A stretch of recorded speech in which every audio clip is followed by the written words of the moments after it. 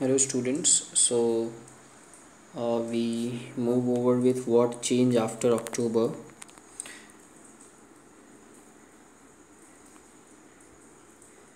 So as far as we have seen a lot of work we have done in this ninth chapter. In history you must know that the more you read the more you remember and the more marks you will get. So it's all about to get the marks but we can't go with line by line. That's why I'm going to clear every particular portion in detail so that you can at least get the idea that what type of chapter this all about. And the rest of the things the research which you must do on internet and on videos you can watch over on youtube so that you can understand the chapter better way so what type of change we see after the october so the industry and banks were nationalized in november 1907 so there comes the one big major difference which is the industry and banks were nationalized in november 1970 which means that the government took over ownership and management so government के पास अब management और ownership चली गई land was declared as social property and peasants were allowed to seize the land of the nobility So so, अब land declare हो गई social property के हिसाब से। और पीजेंट को अलाउ कर दिया गया कि वो सीज कर दें अपनी सब lands Bolshevik party was renamed the Russian communist party so जो बॉल्सेविक पार्टी थी उसको रीनेम मिल गया और वो रशियन कम्युनिस्ट पार्टी बन गई।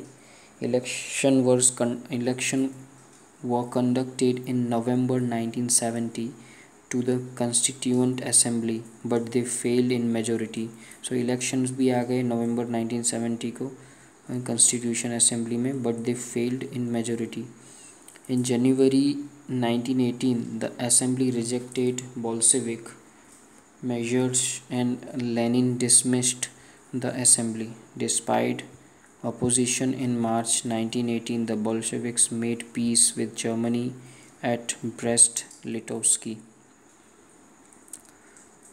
1990 के 1918 के मार्च के अपोजिशन के बाद भी जब बॉल्सोविक ने एक पीसफुल समझौता किया with Germany at the Brest Litovsk the Bolshevik party participated in the election to the all Russian congress of Soviet which become the Russian parliament in the country Russia so the Bolshevik था, उसने क्या कहा कि मैं खुद election में participate होगा, जिस ऑल रशियन कांग्रेस के इलेक्शन में। And which become the parliament of the country और वही पार्लियामेंट बन जाएगी हमारी रशिया कंट्री की।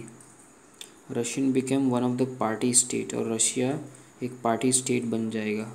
After October 1970 this led to experiments in the arts and architecture but many become disillusion because of the censorship the party encouraged so what happened uh, these all things lead to experiment in the arts and architecture.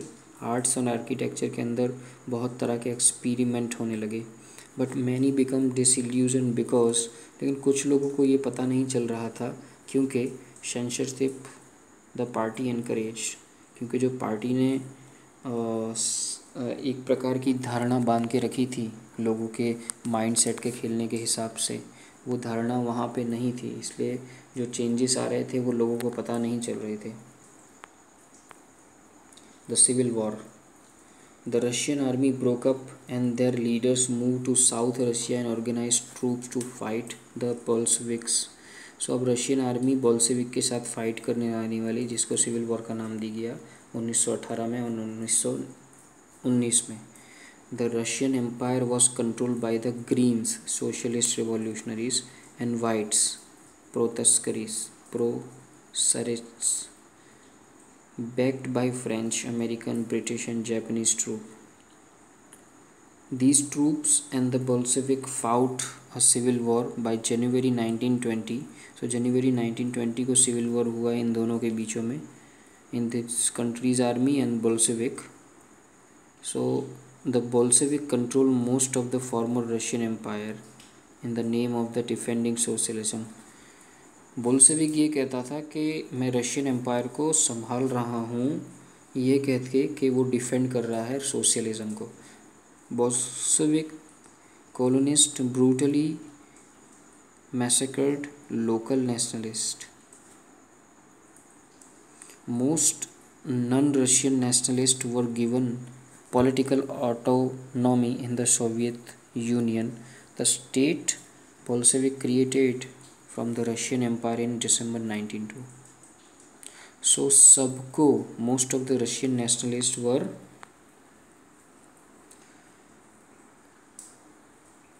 given a political autonomy in Soviet Union. So autonomy uh, were given a political autonomy in the Soviet Union the state the Bolshevik created from the Russian Empire in December 1922 but since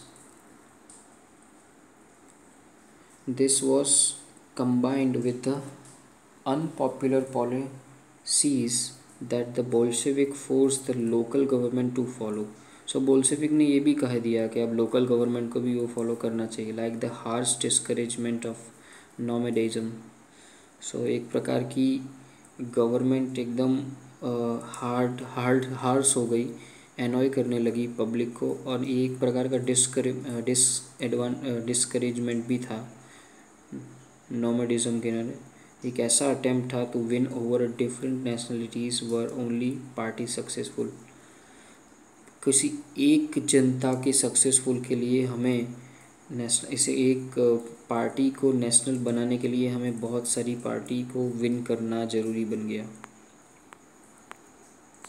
So making a socialist society during the civil war industries and banks kept nationalised तो civil war के दौरान industry और bank को national sorry nationalism का अधिकार दे दिया गया। Peasant were permitted to culti cultivate the land centralized planning process was introduced. Official worked on how the economic will work and set targets for a five years period. During the first two plans, the government field fixed all prices to promote industrial growth.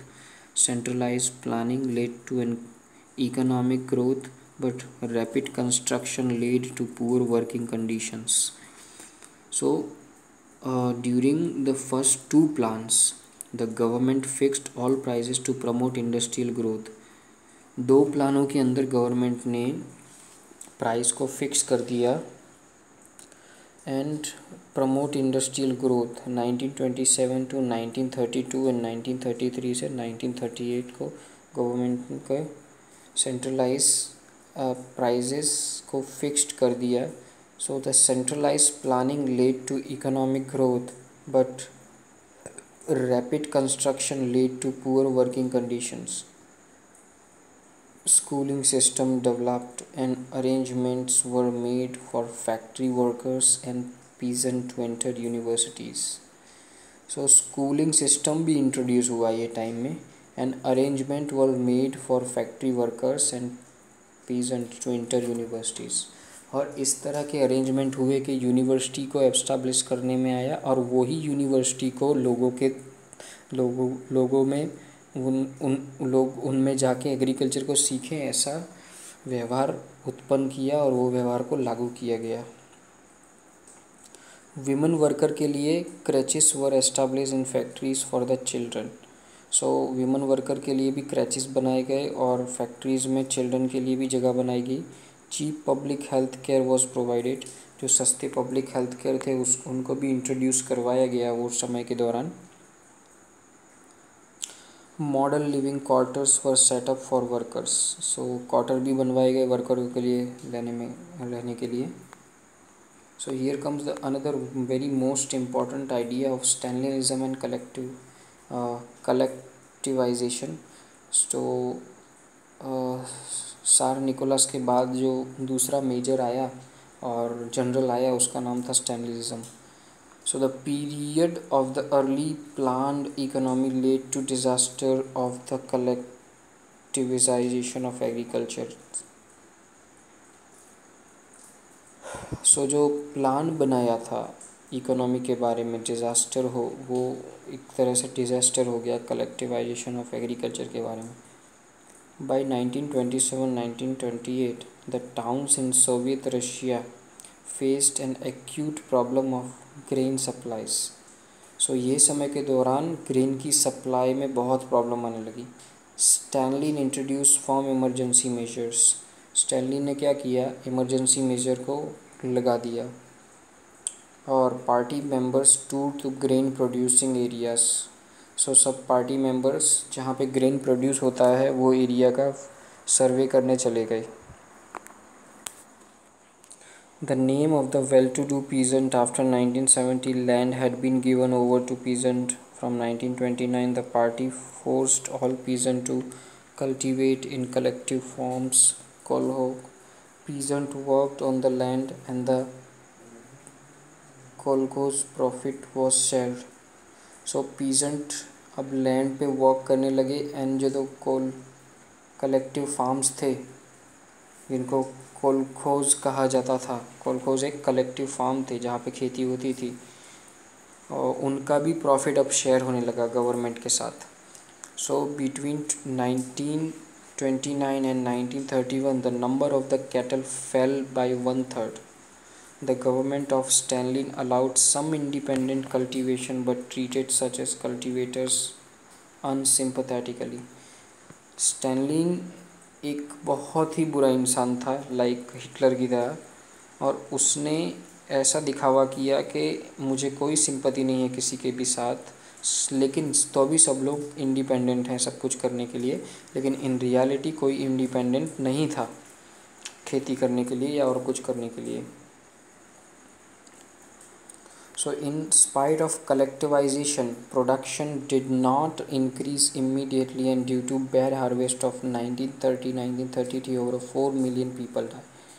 So so, अब ये हो गया कि सबसे पहले harvest को बढ़ाना था लेकिन it is impossible in in short time so तीन साल के अंदर चार मिलियन लोगों की मौत हो गई throughout the country accusations were made and by 1939 over two million were in prisons और लेबर कैंप्स सो 1939 के आने तक दो मिलियन पीपल को लेबर कैंप में रख दिया गया और किसी को प्रिजनर बना दिया गया.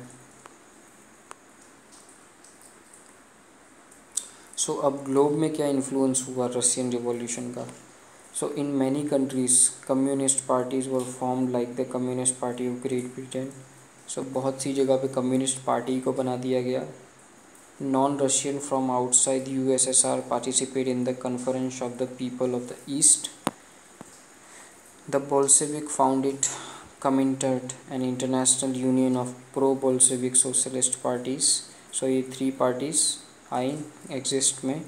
Before the outbreak of the second world war the U S S R had given socialism global face and world stature so जब आउटब्रेक हुआ वर्ल्ड वॉर सेकेंड का, उसके पहले जो समाजवाद था, वो पूरे वर्ल्ड को मिल चुका था।